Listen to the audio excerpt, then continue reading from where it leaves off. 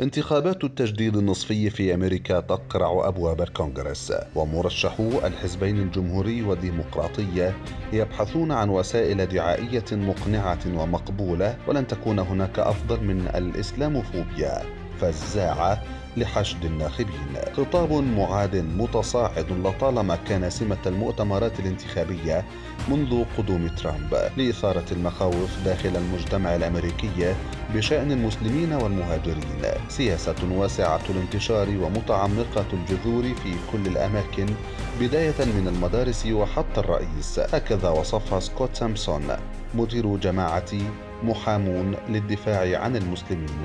نظرية المؤامرة ضد المسلمين تسللت إلى ثلث المرشحين. منهم من طالب بحرمانهم من حقوقهم الأساسية وآخرون تبنوا حملة ضد المسلمين. دانكان هونتر مثال حي على استهداف المسلمين ومنعهم من دخول الكونغرس. استغل الإسلاموفوبيا لمهاجمة منافسه الديمقراطي عمار كامبا نجار ويبدو أن الإسلاموفوبيا ستبقى رهان ترامب على البقاء رئيسا لأمريكا.